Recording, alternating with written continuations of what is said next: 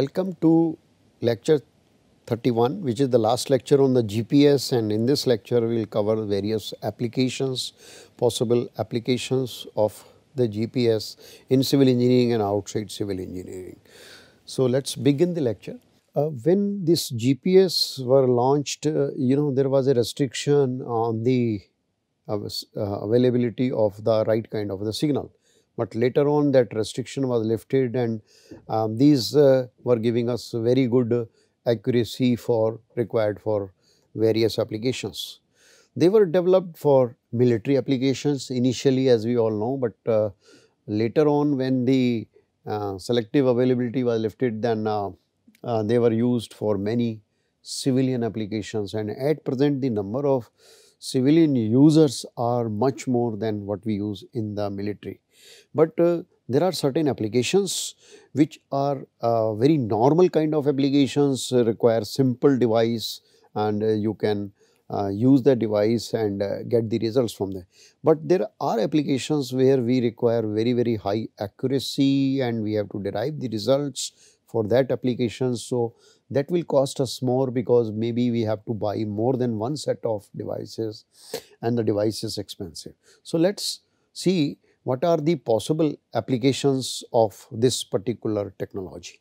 So, broadly you know if we see the broad categories in which we can divide these applications of GPS technology, it could be uh, like location very important position of any point is very important whether we are talking about the um, mapping part because we require the location or whether we are developing any applications which deals with the location.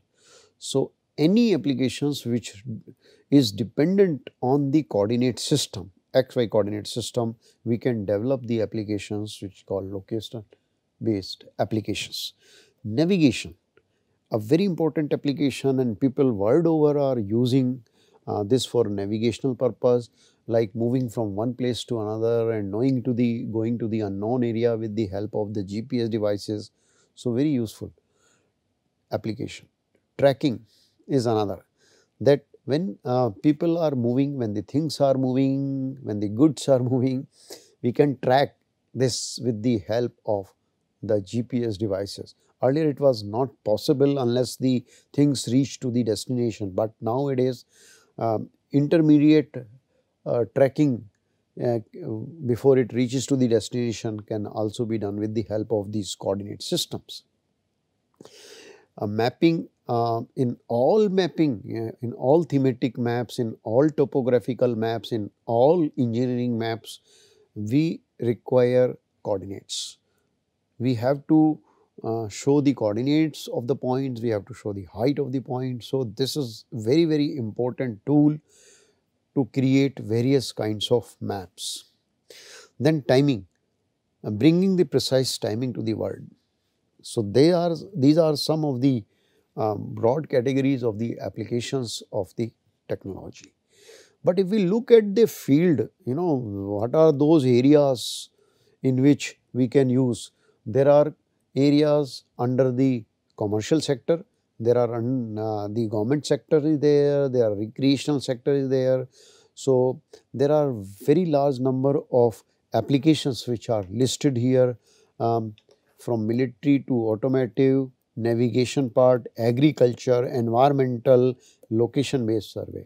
So, here a lot of industries, the private sector, the commercial sector has come up who are providing this service. Government is using in very large number of application in very big projects the GPS technology. But there are large number of user the general public where they are using for recreational purpose. So, recreation could be either we are using for our sports activity, we are using for fun, we are using for outdoor activities. So, whether it is hiking or hunting or fishing or boating or maybe playing the golf. So, these are you know recreational a list is very very long where GPS has found uh, its applications. apart from this, uh, there are areas which are you know totally different. So, from these uh, areas and the areas which I have shown in the earlier slide, one can see that today uh, the list, this list is very long and it is no more, uh, it is a mapping device, but it has a um, very useful applications in very large number of fields. So, whether we are uh, actually here talking of the search and rescue operation, whether we are talking of the fishing, we are adventuring uh, in the wildlife mapping.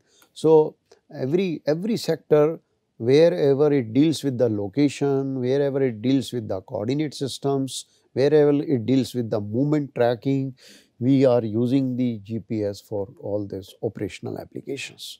So, let us take one by one and discuss further.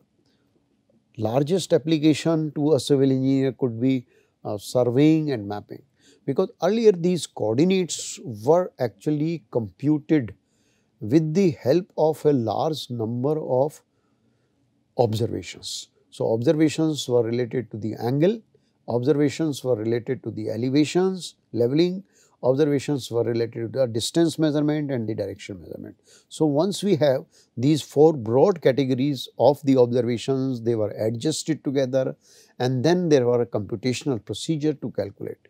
So, this is a well defined given in the surveying book, but this is a wonderful device which can give us the coordinate. We are not doing any computation, but what we are doing, we are taking precautions, we are using proper method, we are using proper device so that we can get right uh, coordinates, we can get accurate coordinates and we can use that for desired applications.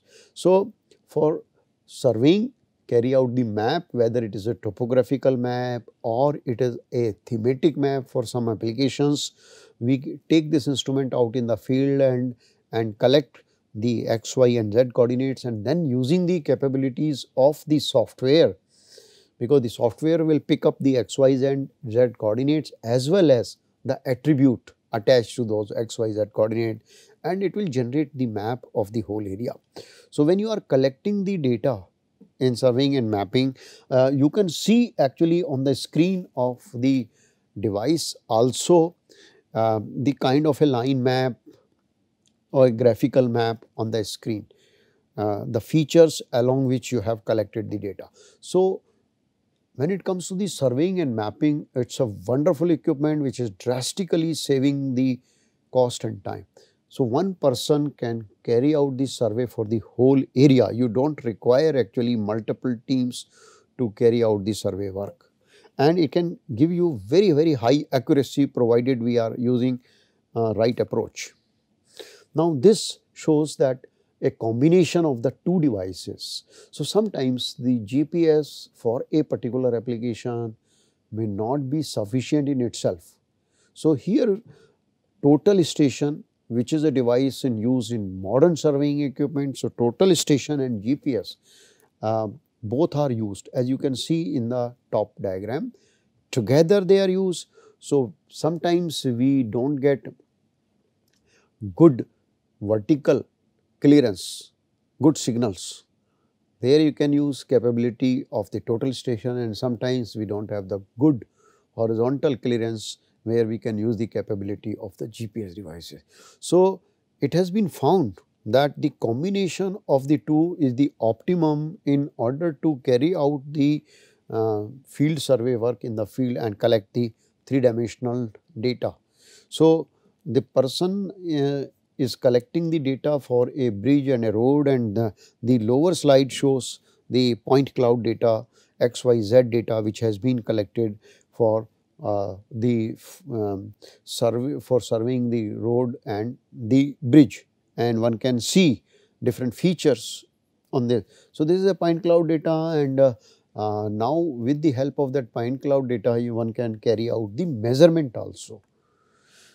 So, um, there is a device uh, instead of carrying the two instruments to the field separately a total station and a GPS and looking into the market this combined device has come up where on the top of the total station a GPS is marked. So, a GPS is marked on the top of the total station and then on the same tripod on the same set of location you can take the observations either from GPS or from the total station depending upon the situation and circumstances. So, this is called uh, a smart station. So, a smart station is a station which will give us the digital data, which will give us data uh, for multi-purpose. So, this is a multi-purpose data, we our work is not held up if we are not getting good signal. As you have learned multi-path will obstruct my signals. High rise objects will obstruct my signal. If I am working under the bridge, I will not get good signals. So, there I can use the capability of the total station device and yet continue my work.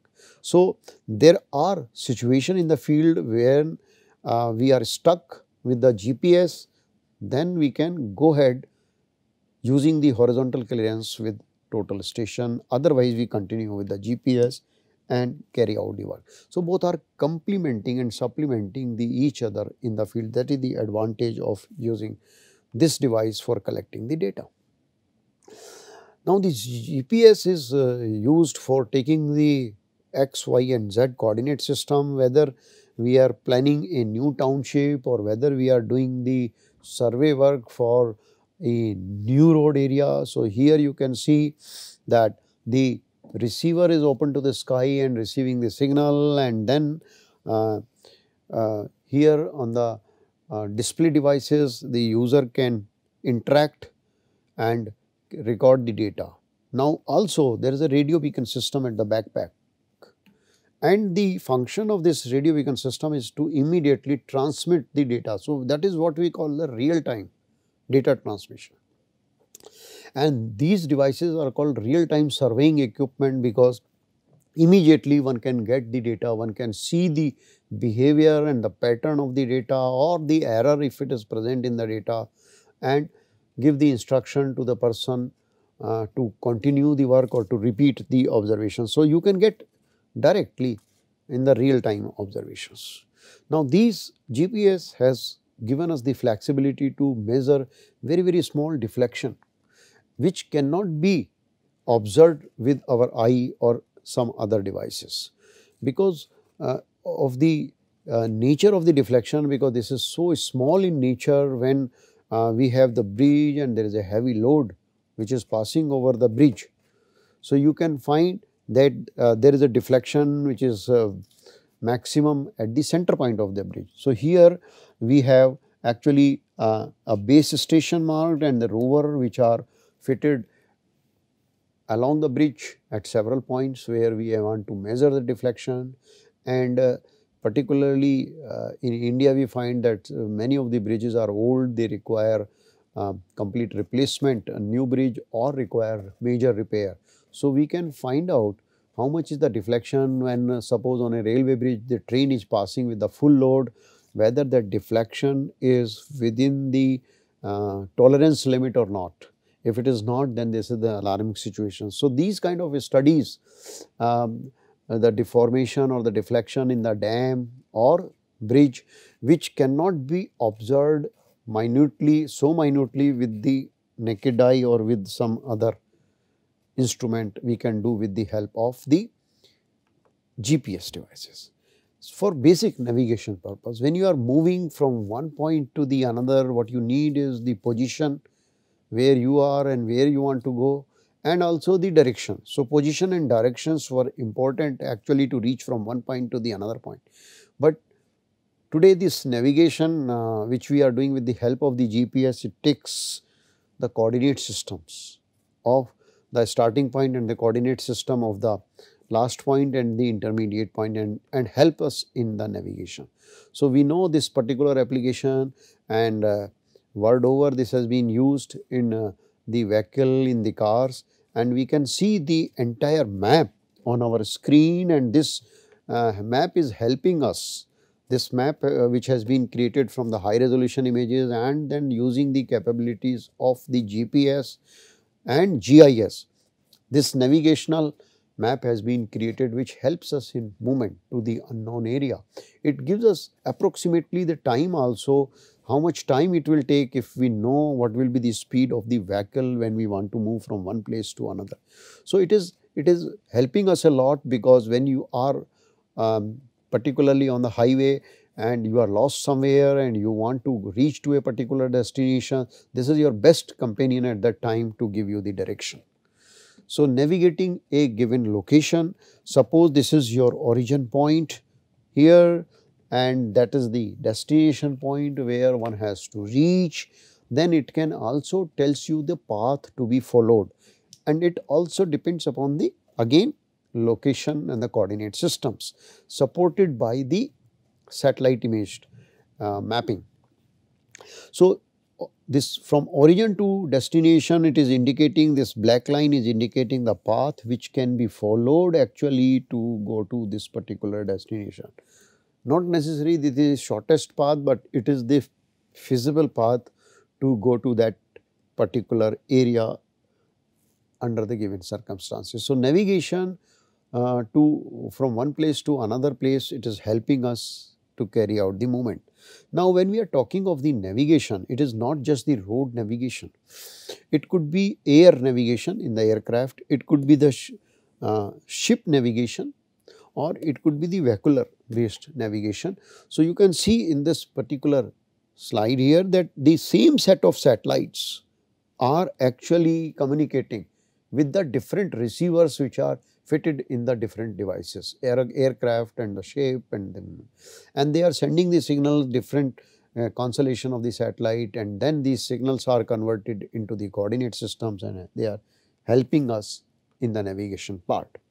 So, as far as the aeroplanes are concerned, you know, they were uh, using uh, the GPS based, you know, navigation since long time, but the with the improvement in the technology, the general aviation uh, has become much, much precise with the help of the now takeoff and landing has become much, much precise uh, with the help of the GPS.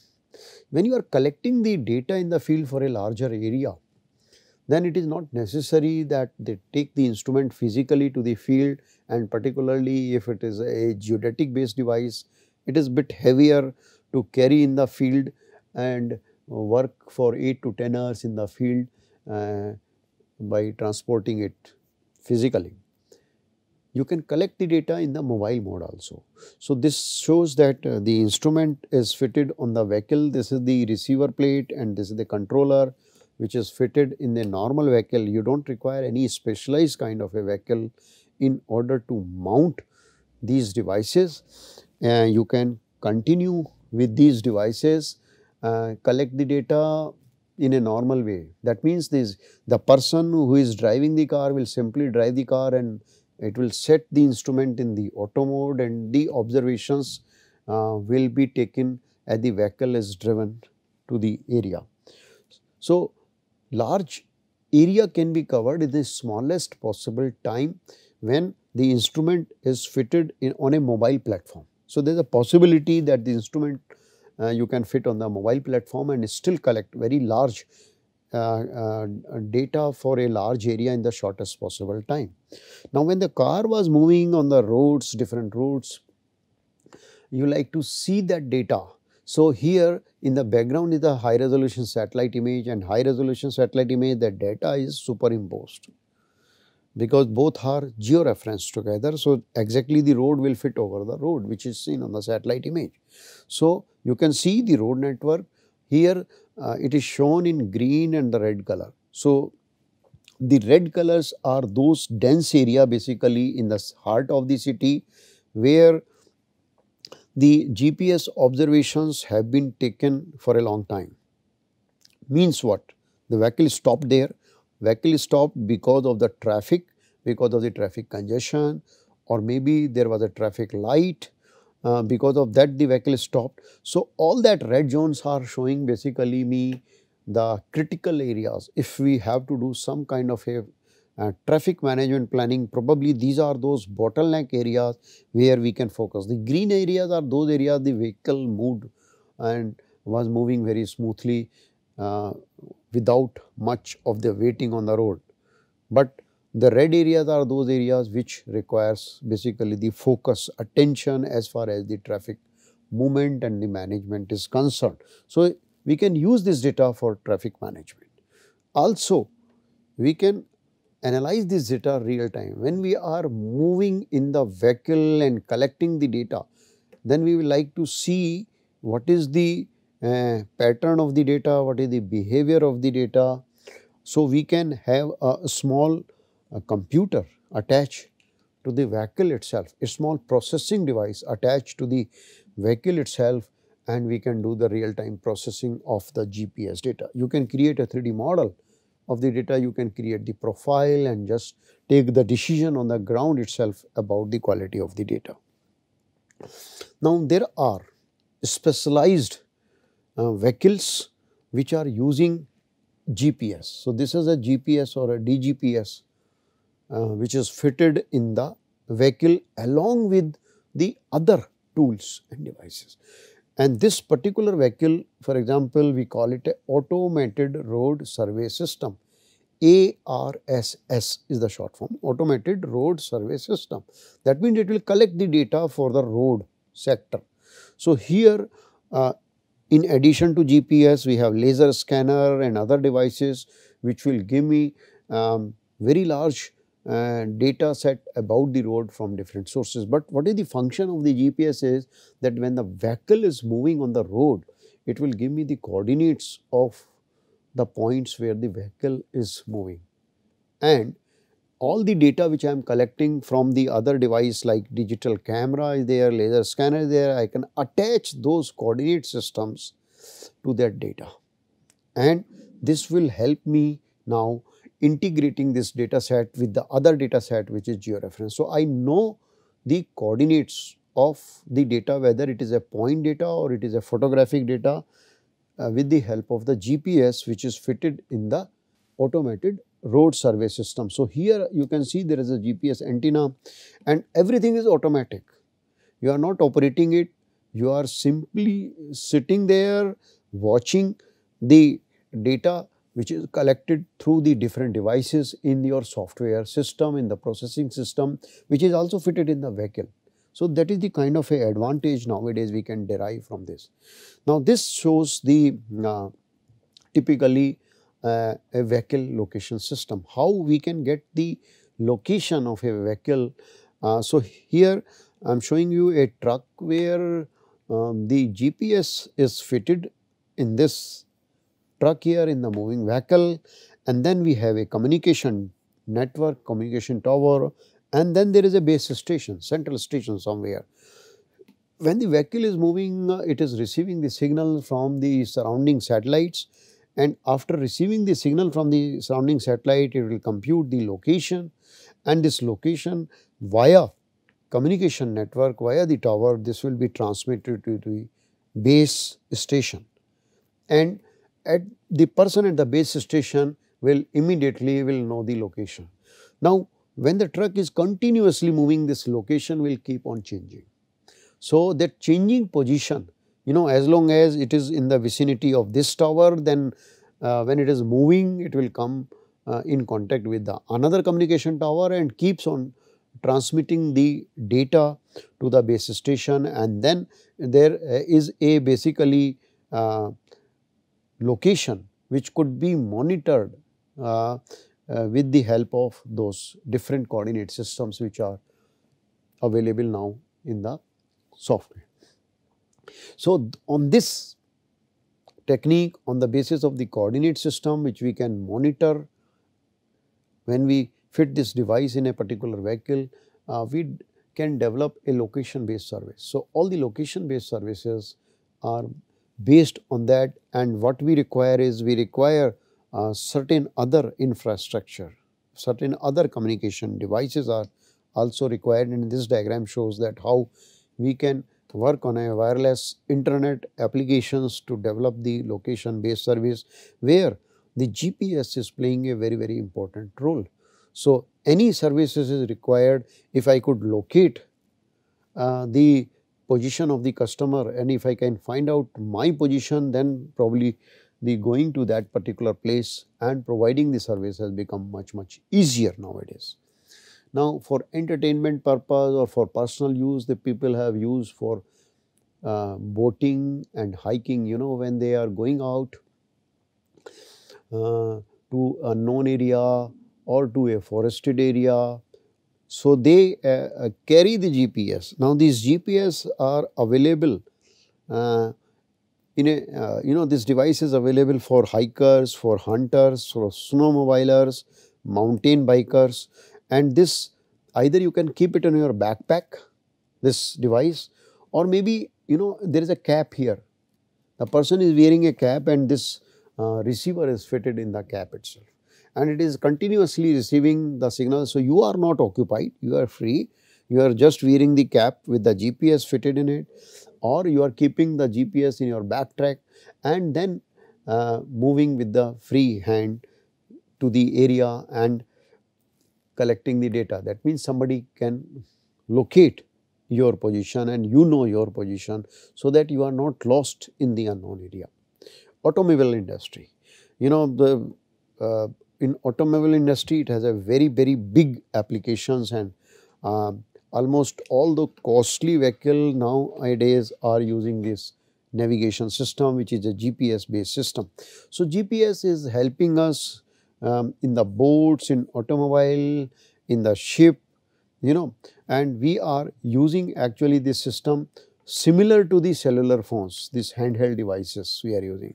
So, when we are using it for navigation system, it will increase the efficiency of the driver a person who is driving the vehicle, it will definitely increase the efficiency because it will follow the right path and it will, um, uh, uh, the GPS will provide the guidelines. Driver may not uh, pay much attention to the road, but GPS will time to time will uh, try to actually give the information, transmit the information and uh, they will help the drivers actually to maneuver over the city when they are lost in the area. So, it will guide the movement of the persons when the person is moving.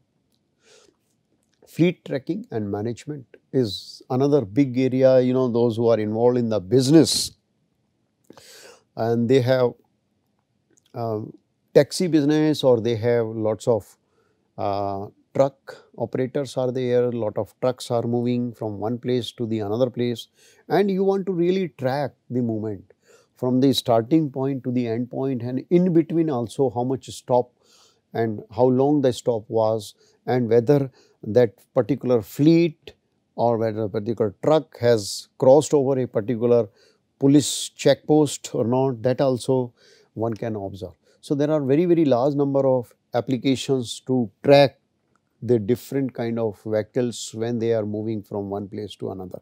So, this is showing you the example here of a moving bus. So, bus actually is moving from one place to the another place here and in the background is the map. So, there is a road on which the bus was supposed to move. So, it can show here the stop of the bus, then there is another bus stop, third one and the fourth one and the next one. Now, you know that the bus was not supposed to stop at this particular stop. So, this we call as the illegal stop because the coordinates uh, gives us that information the bus is stopped at that point. Not only uh, at what location the bus stopped, but we also know how much time uh, it has stopped at a particular location. So, uh, this has a lot of applications uh, uh, in the movement of the people on those buses. So, you can see that uh, at present uh, where is the bus, what location the bus is, in what direction it is traveling, what is the speed of the travel, where is the next stop and how long is the stop. So, that all everything can be monitored and uh, this uh, is being done um, nowadays in reality particularly the children buses when they go to school that the school bus people like to monitor Right. Emergency response system has a big applications. So, in case of emergency, uh, whether it is a disaster or it is a fire or it is uh, some kind of a riots.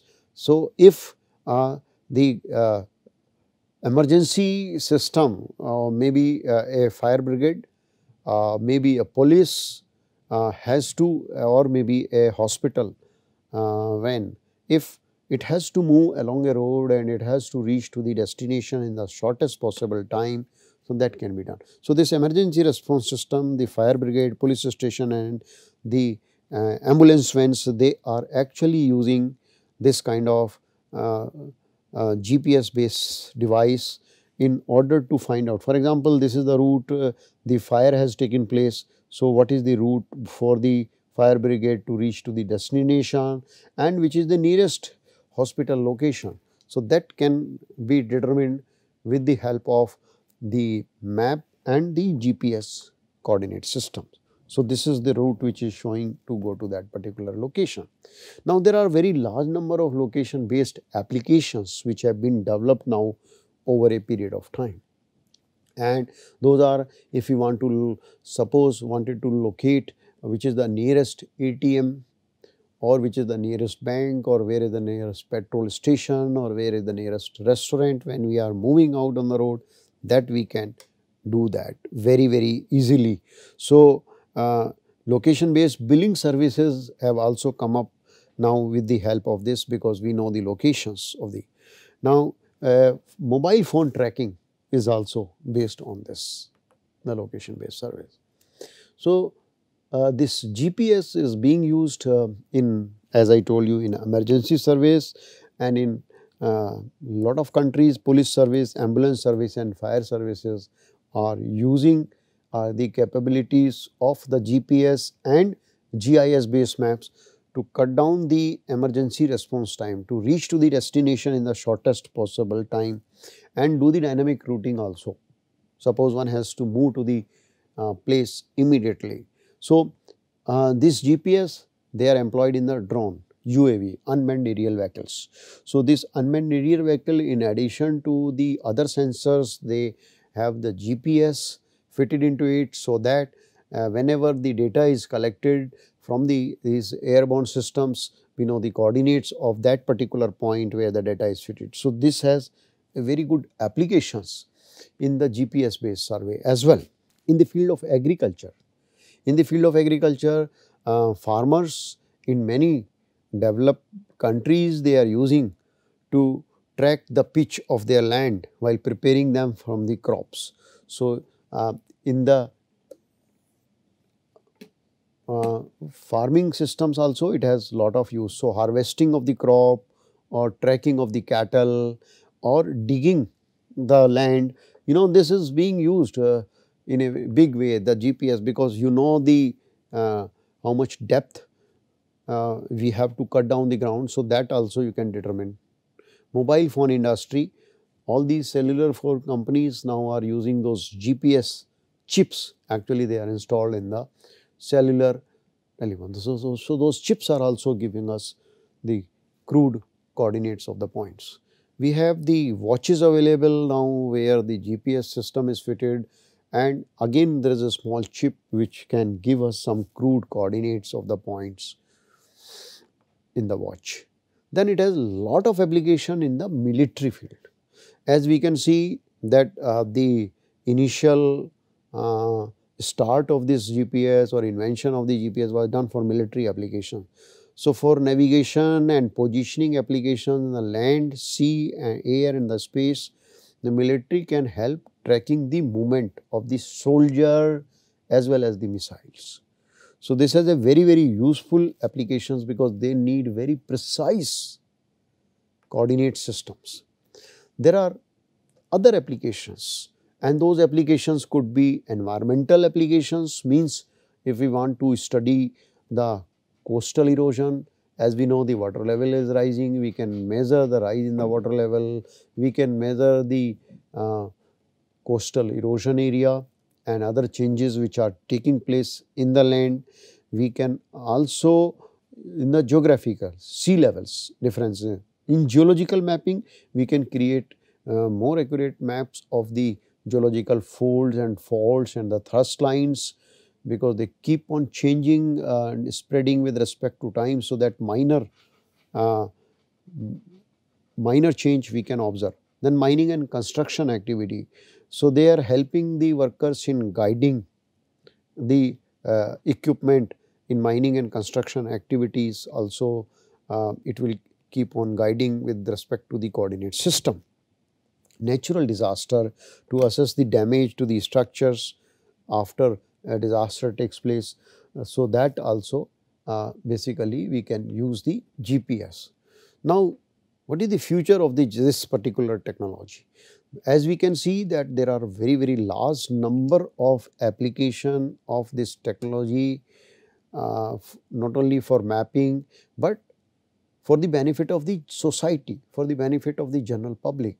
So, it has a very good future as far as the um, geomatics engineering is concerned, as far as the other applications are concerned.